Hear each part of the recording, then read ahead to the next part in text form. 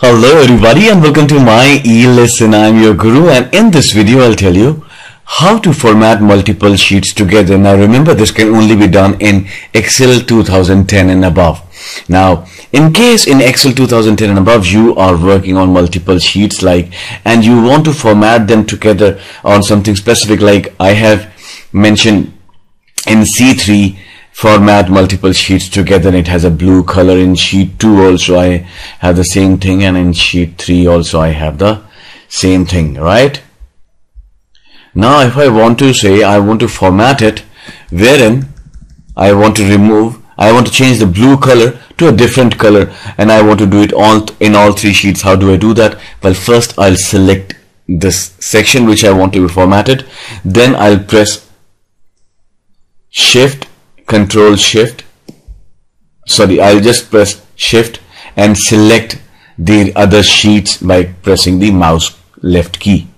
Alright? So now all the three sheets are selected. Now since this is all this section is already selected I do whatever change I want. So I go over here and I change the color to say this orange and then I click out of it.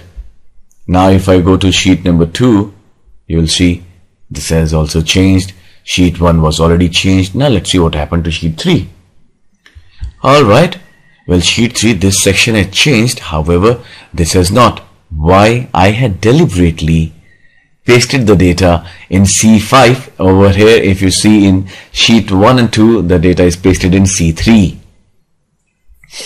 so what did it say? That it will format the same area same section as in other sheets so that is why C3 is formatted as this orange color. Alright. Now say if I want to re remove this customized status bar in Excel, it is mentioned in all the sheet, three sheets. So what would happen? So I will select this area.